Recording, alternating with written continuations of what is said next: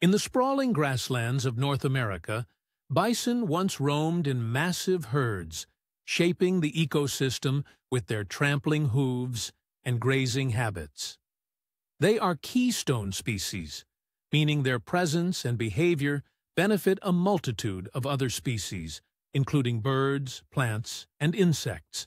However, with human expansion and hunting, the bison population faced near extinction, altering the landscape and its biodiversity. Conservationists have since stepped in, recognizing the critical need to restore bison to their natural habitats.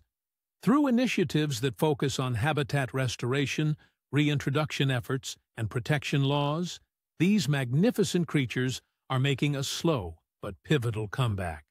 By maintaining healthy grasslands, bison help prevent soil erosion and promote nutrient cycling, benefiting the entire ecosystem. Efforts to conserve bison aren't just about preserving an animal. They're about maintaining the health of the grasslands.